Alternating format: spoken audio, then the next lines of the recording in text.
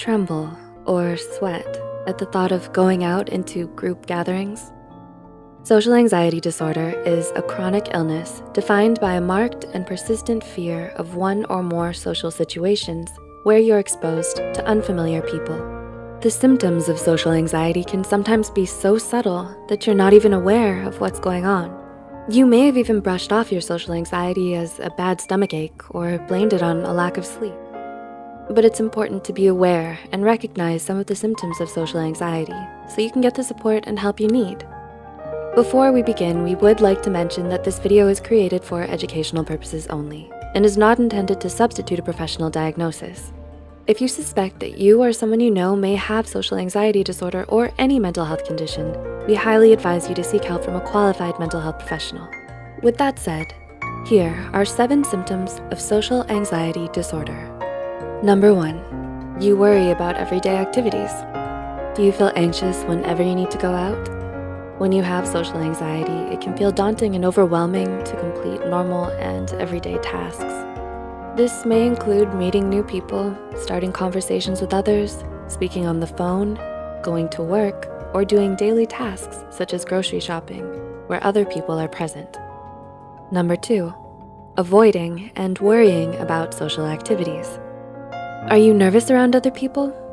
Whether it's because you feel claustrophobic around crowds or feel that other people are judging you when you're out, people with social anxiety may go out of their way to avoid activities that involve a lot of people.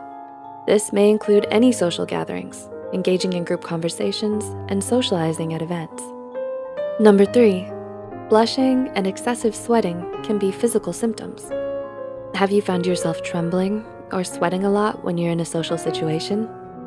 Sometimes your social anxiety disorder may manifest itself through physical symptoms. Excessive blushing or sweating can sometimes be linked to an intense fear of embarrassment, especially when in the presence of other people. Other symptoms may include feeling sick, trembling, or experiencing heart palpitations. Number four, you may experience panic attacks.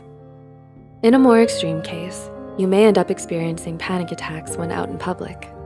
You might find yourself sweating, shaking, having problems breathing properly, and experience an overall sense of dread or doom. This overwhelming sense of fear can last from several minutes to an hour, depending on how severe it is, and can be quite a scary experience. Number five, an overwhelming fear of being criticized. Can you take criticism in a healthy way?